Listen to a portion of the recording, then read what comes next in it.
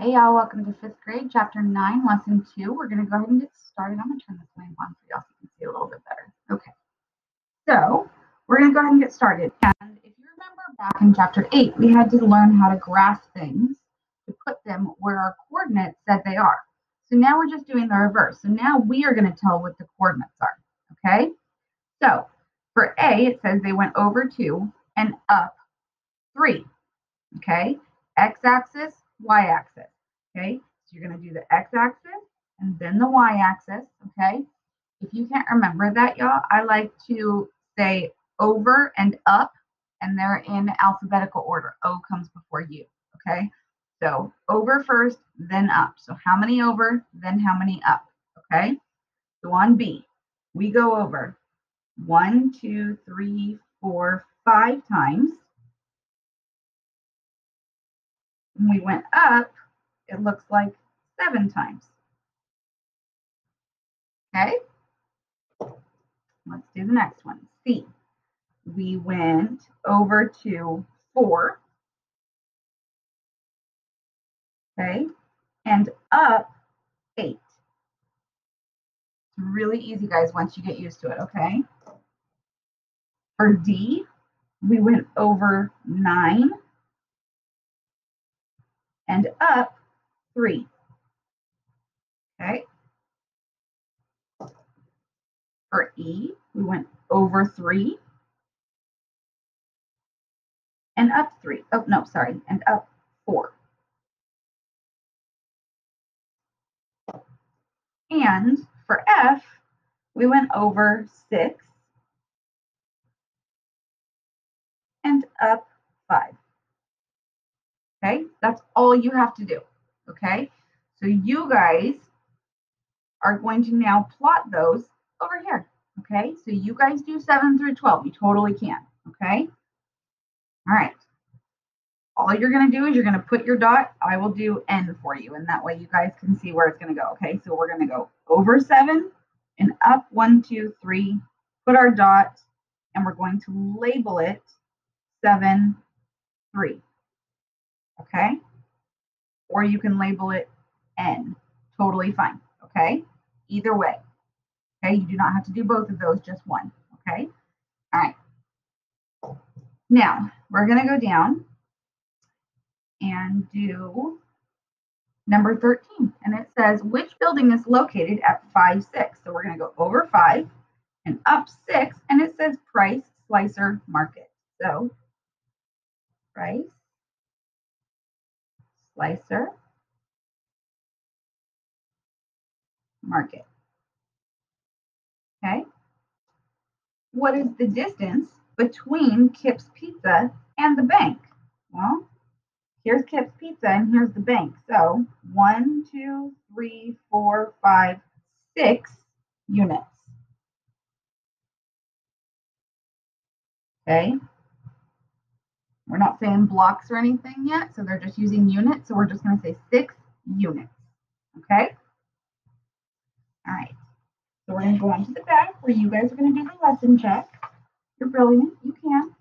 Little geniuses. Okay. And we are going to go down and do the spiral review. What is the value of the underlying digit? So I, we love these because all you have to do is drop that underlying digit and everything afterwards. So one, two, three, four, five, one, two, three, four becomes a zero. 60,000 done. Okay. Andrew charges $18 for each lawn he mows. Suppose he mows 17 lawns per month. How much money will Andrew make per month? So 18 times 17. Okay, 7 times 8 is 56. Carry the 5. 7 times 1 is 7, plus 5 is 12. All right, so we're going to tick, tack, and toe, and then 1 times 18 is 18. We're going to add those up. Okay. So we have 6, we have 10, carry the 1, and we have 3. So $306. Make sure you have your dollar sign. That is your word answer for your word problem, okay? All right. Arlo can bicycle at a rate of 18 miles per hour. how many hours would it take him to bicycle a stretch of road that is 450 miles long? Okay, well, let's write down our multiples of 18 to start with. Okay, so we have 18. I know we have 36. And after that, I'm going to grab my handy dandy calculator. Okay, so I'm going to do 18, 18. Okay, so I'm going to keep hitting equals because I just did 18 plus 18. So I'm just going to hit equal 54. 72 and 90. And hopefully that's enough, but I'm going to do one more just in case and 108. Okay? So now we're going to go ahead and do some math. Okay? So 450 miles and 18 miles per hour. Okay? All right, well, 18 is going to go into not 4, the placeholder. 18 will go into 45. It looks like the closest we're going to get is 36. So that's 2 times for 36. Subtract. 5 can't take away 6. I'm going to make that a 15, make that a 3. So 15 take away 6 is 9. 9 is definitely smaller than 18, so I can bring down my 0. And 18 will go into 90 1, 2, 3, 4, 5 times. 5 times 18 was 90. Subtract, get 0. Make sure you're showing your work. So your answer will be 25 hours. Okay. Right. So make sure you're showing your work, guys, okay? You don't have to write down your multiples, but you do need to show your work, okay? All right. So Molly uses 192 beads to make a bracelet and a necklace. It takes five times as many beads to make a necklace as it does to make a bracelet. Okay. So let's see. Here is for bracelet.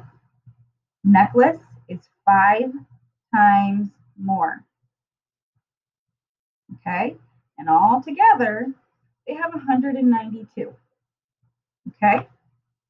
So we need to find out how many it takes to make a necklace. Okay, so we're going to take that 192 and we're going to divide it by how many boxes we have. Well, that's 5 plus 1 is 6. So we're going to divide that by 6. Okay, so 6 does not go into 1. So 6 will go into 19 three times. 3 times 6 is 18. Subtract, get 1. 1 is definitely smaller than 6, so we can bring down our 2, and 6 will go into 12 two times. 2 times 6 is 12. Nothing left over. We're good to go. Okay. Now, that means that each one of these boxes is worth 32.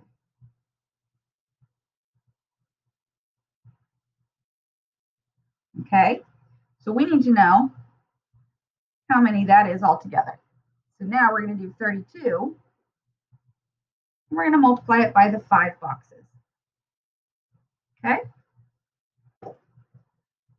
So 5 times 2 is 10, carry the 1. 5 times 3 is 15, plus 1 more is 16. So 160 beads.